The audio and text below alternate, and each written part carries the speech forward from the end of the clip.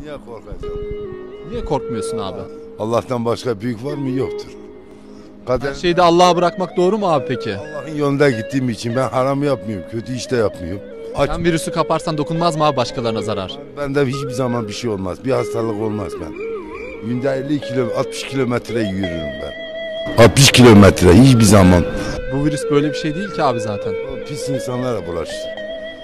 Kendi banyo yapmayan, üstü başını değiştirmeyen, çorabını yıkamayan. Bunların ne şey olur.